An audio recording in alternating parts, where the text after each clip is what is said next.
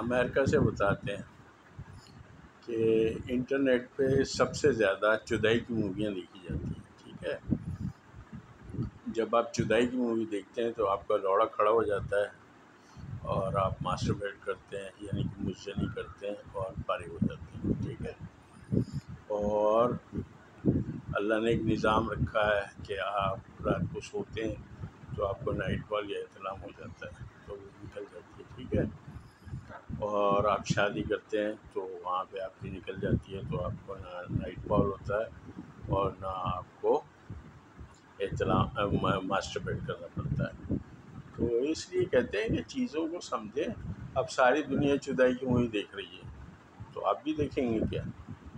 तो इसलिए ये है कि सबसे ज़्यादा जुदाई की मूवी देखी जाती है इंटरनेट पे।